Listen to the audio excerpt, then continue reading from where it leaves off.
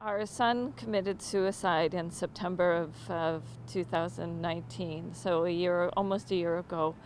We started the Legacy for Alex Bursary Fund uh, here at Gravenhurst High School to give back to the high school and also to increase awareness regarding mental health and addiction uh, and the limited resources that are available out there for students in our community.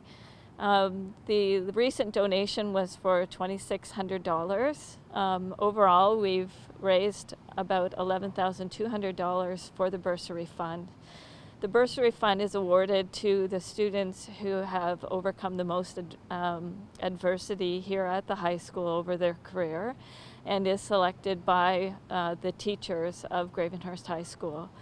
Um, we have uh, had several events that have um, led to all of the fundraising. A pasta dinner that was held by Ride Community Co-op.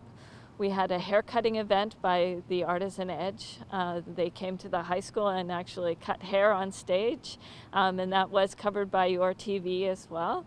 Um, we have had also Happy Jack Yoga put on an empowerment um, event, uh, and we also have had donations come in from AAA Sanitation and Frank Cooper Construction, um, as well as several uh, individuals have donated as well.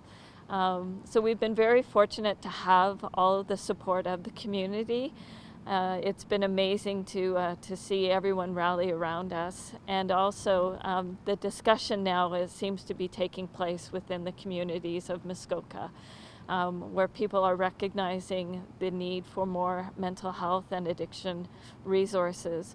We don't have a psychiatrist on staff at Canadian Mental Health Association, and we don't actually have one of their offices here in Gravenhurst. So it's, it is very difficult for families to try and navigate through all of the different um, siloed resources to get the help for their children.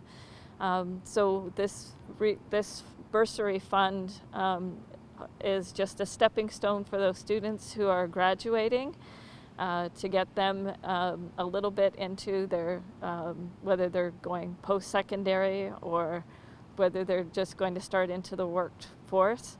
Um, it's just a little bit to, to give them a, a little hand up um, uh, along the way.